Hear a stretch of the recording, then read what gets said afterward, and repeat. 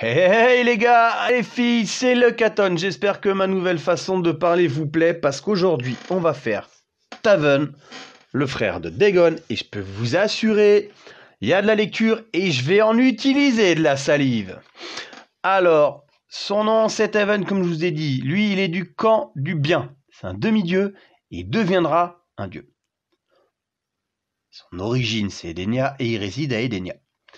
Alors, rapidement, Argus, le dieu protecteur d'Edenia, a eu deux enfants, comme je vous ai dit précédemment, Teven et Dagon. Leur mère Delia, c'est une prêtresse édénienne, elle avait des dons de voyance. Un jour, elle a eu une vision, normale pour une voyante, qui lui disait qu'il y aurait une grosse guerre causée par un trop grand nombre de puissants guerriers. Et cette guerre mettrait fin à tous les royaumes, avec un R majuscule, quand même. Pour remédier à ça, elle a créé Blaze, chargé de surveiller les combattants. Leur sort fit débat, Argus voulait tout le monde mort, Delia voulait juste annuler les pouvoirs. Pour se mettre d'accord, ils ont décidé de mettre en compétition les deux enfants, les sortes de combattants dépendraient de celui qui battrait Blaze. Teven et Dagon ont été mis en hibernation par leur père, Seul le signal de Blaze pouvant les faire sortir de leur sommeil, Argus a caché leur corps sur Lurnswil. Il les a confiés à deux dragons, comme je vous ai déjà dit, Orin pour Teven et Caro pour Dagon. Quelques milliers d'années plus tard, donc du coup, hein, comme on dit, on ne parle pas du mois d'octobre, Teven se réveilla enfin. Un peu groggy, comme s'il avait picolé, par un trop long sommeil. Et il a demandé à son dragon, qui lui répondait simplement qu'il avait été réveillé afin d'accomplir une quête l'opposant à son frère, et qui devait aller au temple de son père sur Lordswin pour récupérer une arme. Taven a emprunté le passage Corinne lui montra, ce qu'il téléporta à l'entrée d'un pont gardé par Cobra et Kira, deux mercenaires du Dragon Noir. Oh, voilà. Le voyant comme un intrus, Cobra a attaqué. Teven l'a vaincu et il a poursuivi sa route jusqu'à des ruines entourant le palais. Sur la route, il s'est fait attaquer par des hordes de brigands qu'il a éliminés sans trop de risques. Hein. Forcément, le mec, il est demi-dieu. Jusqu'à la rencontre d'un certain Cabal, leader du clan ayant pris le contrôle des alentours. Cabal a proposé à Taven de le rejoindre dans les rangs du Dragon Noir. Taven, il a dit non. Non, non, je veux pas. Non, mais cherche pas, je, veux pas. Donc Cabal, il a engagé le combat. Et Cabal a pu. Il a perdu le combat, ce qui a permis à Taven de continuer son chemin jusqu'au temple. Une fois à l'intérieur, il a découvert des inscriptions et des pictogrammes, des petits sigles quoi en gros, qui représentaient l'Armageddon, ainsi que le socle où était creusée la forme d'une main. Quand il a tenté de poser sa main. Un faisceau de lumière jaillit, faisant apparaître une projection de son père Argus. Ce dernier a annoncé à Taven le vrai but de sa caisse et ce dont le vainqueur bénéficierait. Un cadeau digne d'un dieu. Il lui indiqua aussi sa prochaine destination, le temple de sa mère, situé dans le nord, où une autre arme l'attendait. Alors qu'il constatait l'absence de l'arme qu'il était venu chercher, la projection d'Argus a disparu et Teven fut aussitôt attaqué par le Tekunin Sector, dont je vous ferai plus tard aussi euh, la narration. Donc Sector, il l'a capturé et il l'a emprisonné dans son vaisseau. Donc du coup, Sector Eh ben, il a joué l'inquisiteur. Il a questionné Taven sur ce qu'il a vu et il a appris à l'intérieur du temple, sous menace de torture. Quand même. Taven a refusé de répondre, mais il rétorqua au cyborg qu'il allait regretter son geste. Putain, tu vas crever, tu vas payer, tu vas voir la calculatrice géante, provoquant la colère de ce dernier. Avant qu'il puisse appliquer sa sentence, Sector a été stoppé par l'annonce du lieutenant des forces spéciales, Sonia Blade. Oh là là, Sonia quand même. Les sommants de se poser ayant violé l'accord entre l'Earth's Realm et les autres royaumes. Profitant du chaos et de la situation, Taven, pas bête, il s'enfuit, mais il s'est fait rattraper par Sector. Euh, je sais pas s'il lui a retiré les piles, mais en tout cas, Taven, il a mis Sector HS. Taven sauta ensuite du vaisseau, même pas peur. Et il a atterri pas loin de la grotte d'Orine, comme par hasard. Qu'il questionna sur ce qu'il vit au temple, lui aussi. Taven lui a répondu qu'il n'y avait aucune d'arme, nada. Que le temple semblait désert, inhabité, en un seul mot, pendant de nombreuses années, et que désormais il était occupé par des mystérieux bonhommes en rouge. Aurine a été surpris par ces déclarations et demanda ensuite à Taven ce qui l'a appris d'autre.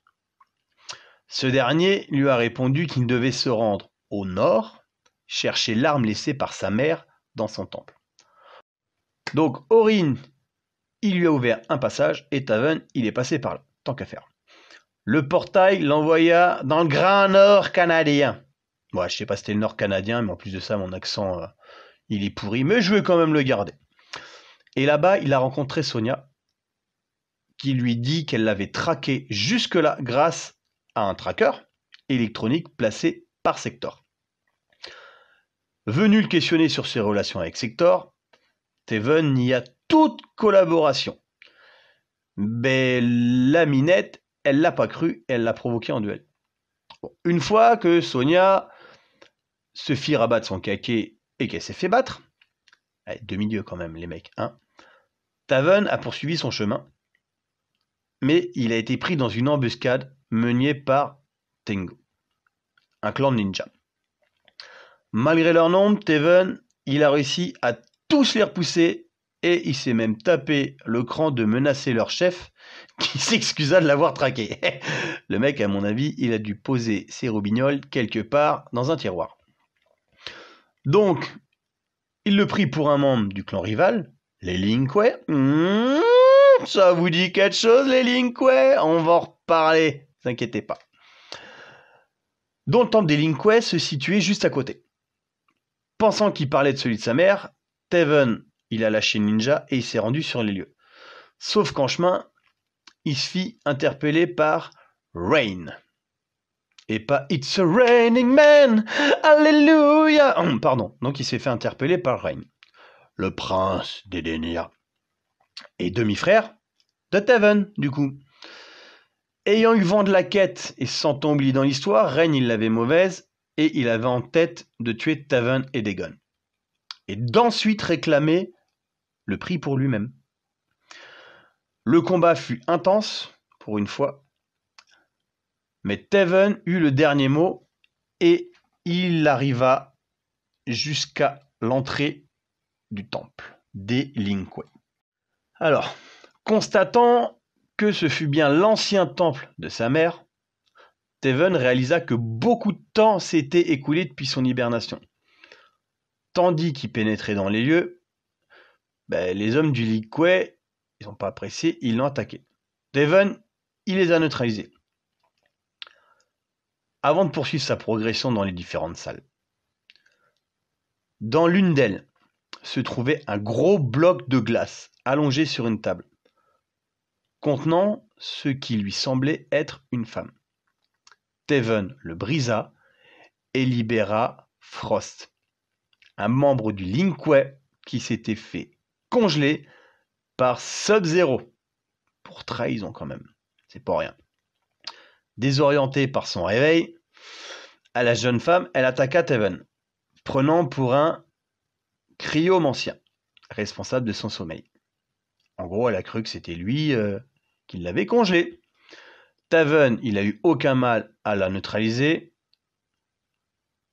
Il a pris ses recherches jusqu'à tomber sur Sub-Zero quand même. Le grand maître Linkway en personne. Hein. C'est pas euh, le petit frigo du coin, c'est pas Freezer. Pardon. Ce dernier lui a ordonné de quitter les lieux sous peine de regretter d'être venu. Taven, il a refusé. Comprendre. Le gars, euh, voilà. Et il l'a provoqué en duel. Le combat dura longtemps, sans trouver de vainqueur. C'est ex Voilà. C'est là que Sub-Zero remarqua le tatouage de Teven sur son visage. Il était similaire à celui gravé sur la porte de la salle où il se trouvait. Taven découvrit par ailleurs qu'il y avait une autre porte identique à celle-ci juste à côté, mais ouverte. Ça signifiait que son frère était déjà passé prendre son cadeau, entre guillemets, mais bien avant lui. Taven posa la main sur la porte, celle-ci s'ouvrit, laissant apparaître l'armure laissée par sa mère. Après qu'il eut enfilé l'armure, Sub-Zero demanda à Taven le but de sa quête. Ils furent interrompus par un ninja venu sonner l'alerte. En effet, des guerriers noirs venaient s'introduire dans le temple et Taven et Sub-Zero se sont alliés pour les neutraliser. Ils ont dû les fracasser. Alors qu'ils se séparèrent, Taven découvrit l'origine des envahisseurs mystérieux. Smoke, un cyborg qui servait de sa magie en quelque sorte pour convertir les membres du Linkway à sa cause en les transformant en guerriers démoniaques. Après avoir vaincu le cyborg, Taven retrouva Sub-Zero dans les mains de Nobsebot. Et là, ça puait quand même pour Sub-Zero. Donc Nobsebot, le démon du Netherrealm, se fit quand même battre par Taven. Donc du coup, Taven sauva Sub-Zero. Sub-Zero se sentit redevable, c'est normal. Euh, on sauve la vie. Euh, hey, quand même, bon, je te dois euh, quelque chose, un petit peu plus qu'une cacahuète. Pour le remercier, Sub-Zero lui annonça que les hommes qu'il suivait, c'étaient les gars du Dragon Rouge. Et il lui révéla la position, une grotte cachée dans les montagnes de Lordswill. Grâce à Orin, Taven parvint jusqu'à l'entrée du repère. Il fut interpellé par Fujin, dieu du vent. Et le dieu, euh, sentant des intentions un petit peu malsaines en Taven, lui somma de retourner sur Edenia. Taven refusa, provoquant un combat entre le dieu et le demi-dieu. Le demi-dieu, eh ben, il a foutu une raclée au dieu. Une fois entré dans le repère, Taven, il est tombé nez à nez avec son frère Dagon, depuis le temps qui se cherchait. Surpris de l'aspect vieilli de ce dernier, Taven interrogea Dagon, qui lui raconta ce qu'il fit après son réveil. Il bâtit le dragon rouge, il a créé le dragon rouge, dans le but de parcourir les royaumes à la recherche de Taven. Et de le tuer, quand même. Alors qu'il tentait de comprendre, Mavado, le bras droit de Dagon, interrompit la discussion pour annoncer la découverte hey, de Blaze quand même. Ravi de cette nouvelle, Degun partit immédiatement, right now, à sa rencontre et il ordonna à Mavado de se débarrasser de Taven. Pas chier le gars. Après un bon gros combat, ce dernier élimina donc son adversaire et partit à la poursuite de son frère. Quand. En chemin, il a rencontré Keno, le boudin australien, membre du Dragon Noir, quand même. Clan rival du Dragon Rouge. En rouge et noir. Pardon. Bah ouais, ouais, ouais, je suis de 83, j'ai connu ces trucs-là, moi. Ce dernier expliqua à Taven qu'il fut capturé et retenu. pour servir de cobaye pour une expérience. La création de guerriers dragons mi-homme, mi-lézard. Et pas mi-molette. Pardon. À peine il a eu fini sa phrase que Keno s'est enfui, laissant Taven poursuivre son chemin. Alors qu'il explorait le repère, Taven aperçut le nécromancien Quan Chi se débarrasser d'un membre du clan ayant apparemment failli à sa mission. Et il rigole pas le pépère, hein, il tape pas seulement sur les doigts. Sentant qu'il était surveillé, Quan Chi a envoyé ses créatures se débarrasser de demi-dieu, lui laissant le temps de prendre la fuite. Taven parvint à éliminer ses adversaires. Il continua sa progression, arrivant finalement dans la salle principale. Dans cette salle se trouvait Caro, le dragon de Dagon, enchaîné et aux prises avec Reptile, qui lui ordonnait de refermer le portail. Taven se débarrassa du saurien et porta ensuite secours à Caro, qui lui expliqua euh, son fardeau. Pendant toutes ces années, Dagon l'obligeait à ouvrir des portails pour ses sbires afin qu'il parcourt les royaumes. Là, quand même, t'appelles la SPA. Hein Qu'est-ce qu'est fou, Brigitte? Bardo, bien sûr. Caro expliqua ensuite comment Dagon fut réveillé en avance par rapport à son frère. Un jour, il perdit le contact mental avec Blaze et il prit ça comme le signal du début de sa quête. Se sentant fautif de la tournure des événements, Caro annonça à Taven l'endroit où se trouvait Dagon, le Netherrealm. Avant d'emprunter le portail que Caro venait d'ouvrir, Tevon a promis au dragon qu'il reviendrait le chercher. Et le dragon, il n'en était pas aussi certain. Tevon emprunta le portail, laissant Caro sacrifier sa vie en affrontant les sbires du dragon rouge et en s'assurant d'exterminer toute trace du clan. Ouais, bah quand même le dragon, euh, il avait des sacrés cojones. Une fois arrivé au Netherrealm, Taven fit face à Loni Ramin, venu lui réserver un accueil et pour le moins violent. Il y a de la castagne dans l'air en l'attaquant. Face au demi-dieu, ce dernier, il n'a pas fait le poids. il est même mort relativement facilement. Plus tard, Taven vit à sa grande surprise Shinnok, un vieil ami de la famille, aux prises avec l'email. Si, l'email, je vous en ai parlé dans l'histoire de Boraicho. Bon, si vous ne savez pas, allez voir ma vidéo sur Boraicho. Après qu'il soit débarrassé de la jeune femme, Taven a demandé au sorcier pourquoi il fut contraint de lui porter secours alors que son statut de dieu ancien devait lui assurer la victoire. Shinnok lui a répondu qu'il fut jadis un dieu ancien, mais que désormais il était contraint de résider après avoir posé ce qu'il avait à dire, il a expliqué grosso modo qu'il avait interféré dans les affaires des mortels. Apprenant que Taven était à la recherche de son frère, Shinnok jura de l'aider en échange de son assistance. En effet, des démons, parmi lesquels Kintaro, Shiva, Avik, auraient pris possession de son trône et l'auraient chassé le rendant ainsi plus faible. Taven accepta de se rendre sur les lieux et d'y gravir les multiples étages afin d'affronter tous les démons qui s'y trouvaient. Après pas mal de combats, Taven a permis à Shinnok de retrouver son trône. Shinnok, pour une fois, il a tenu sa promesse en révélant que Dagon était parti sur Allswin, à la grande surprise de Taven. Après l'avoir remercié, Shinnok le téléporta là-bas, directement, et s'adressa ensuite à une personne dissimulée derrière le trône, et qui s'avéra être Dagon. Donc il n'a pas tenu sa promesse? C'est Shinnok quand même, les mecs. Les filles, vous attendiez à quoi?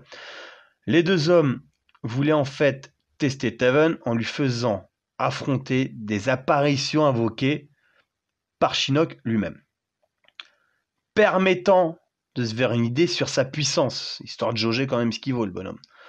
En voyant que Taven avait réussi le test avec plus d'aisance que Dagon, Shinnok se demanda s'il s'était pas trompé de gars. Il s'est demandé s'il avait bien pris le bon frère. Eh ouais, car les motivations du dieu ancien étaient claires. Se servir de la quête afin d'attiser sa soif de pouvoir. Du plus grand nombre de combattants possible. Ensuite, aider Dagon à remporter son combat face à Blaze, ce qui lui permettrait d'être le seul souverain de tous les royaumes. De retour sur leur Taven découvrit avec horreur le dragon Orin couvert de blessures et à deux doigts de mourir. Le dragon, en fait, révéla à Taven qui l'avait mis dans cet état. C'était Quan Chi. Le sorcier était venu attaquer Orin pour s'assurer qu'il ne puisse plus créer de portail, empêchant Taven de pouvoir quitter l'Earthrealm. Heureusement, Orin a réussi à conserver une petite brèche ouverte vers l'Outworld et somma Taven de s'y engouffrer le plus vite possible avant qu'elle se referme. Pendant qu'il s'y engouffrait, Taven jura à Orin qu'il reviendrait le sauver, ce que malheureusement il n'arriva pas à faire.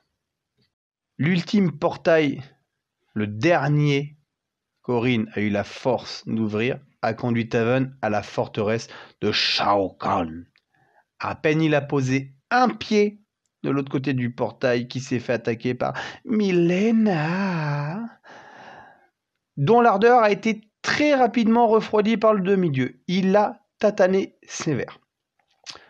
Lorsqu'il arriva aux cellules du donjon, Taven fit la rencontre d'un certain Chujinko, qui lui avoua s'être délibérément fait emprisonner pour pouvoir s'approcher de Khan et lui porter le coup fatal.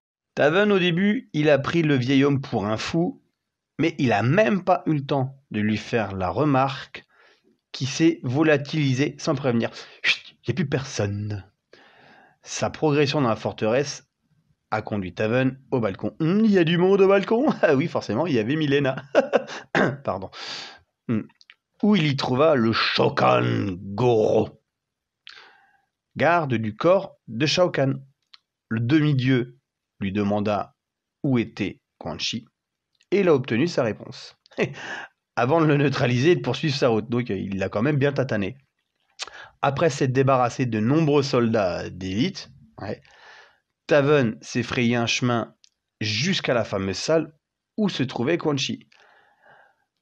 Sauf qu'à l'entrée se trouvait un certain Reiko, l'ancien général de Shinnok, désormais sous les ordres de Shao Kahn, qui essaya d'empêcher Taven de rentrer, provoquant un fight qui vit une fois de plus le demi-dieu l'emporter.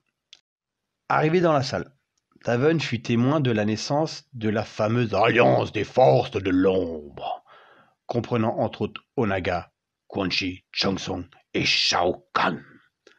Bien qu'opposés pour différentes raisons, les quatre protagonistes ont fondé cette alliance afin d'empêcher que le pouvoir de Blaze ne tombe dans les mains d'un des membres des Forces de la Lumière, qui regroupait tous les héros de l'Earlswin. Taven assista planqué quelque part à la réunion, et les vit emprunter le portail pour Edenia, qui les conduisait à la pyramide d'Argus. Alors qu'il tentait de les suivre, Taven fut stoppé par Raiden, l'ex-protecteur de Lanswin.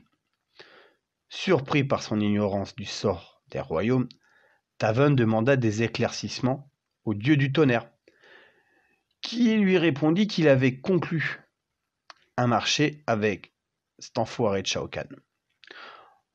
En fait, l'empereur avait promis à Raiden qu'il épargnerait Lanswin à condition qu'il l'aide à stopper Taven dans sa quête. Euh, à son grand regret, euh, Taven se sentit quand même contraint de combattre cet ancien ami de la famille afin de pouvoir continuer son chemin vers Blaze. Arrivé à Edenia, Taven rencontra Scorpion. Get over here! Venu se venger de la trahison des dieux anciens. Une fois débarrassé du spectre, Scorpion il a perdu. Taven rencontra enfin Dagon, venu le tuer. Mais avant qu'il puisse démarrer le combat, Blaze, il arrive, fait son apparition en leur disant qu'il devait à tout prix se battre au sommet de la pyramide et pas ailleurs, tel que le voulait la prophétie. Les deux hommes acceptèrent et furent téléportés, oh magie, auprès de la pyramide, devenu un putain de champ de bataille. C'est ce moment-là que Dagon a choisi pour avouer à Teven qu'il avait tué leurs parents sous les ordres de Shinnok. Ce dernier ayant prétexté qu'ils auraient favorisé Taven dans sa quête. En possession des deux épées, donc la sienne et celle de son frère, Dagon se sentit en position de toute puissance. Mais ce fut bel et bien Taven qui remporta le combat. Par le fait, le droit d'affronter Blaze au sommet de la pyramide. Malheureusement, soit Taven n'arriva pas à temps, soit il n'y arriva tout simplement pas. Mais ce fut Shao Kahn qui parvint à éliminer Blaze, obtenant ainsi la toute-puissance de l'élémental. L'Armageddon eut bel et bien lieu. La quête de Teven se solda par un échec. Donc, pour ce qui est de sa technique et ses armes, il se bat avec le style du Gold Dragon, son arme Drake's World, l'épée offerte par son père Argus. Pour anecdote, lors du développement de MK Armageddon, le nom de Teven ne plaisait pas du tout à Ed Boon. Il devait s'appeler Bob. Non mais sérieux, Bob. Dans MK 2011, Teven fait une apparition dans l'une des visions de Raiden, plus précisément la scène où Teven affronte Raiden dans la salle du trône de Shao Kahn.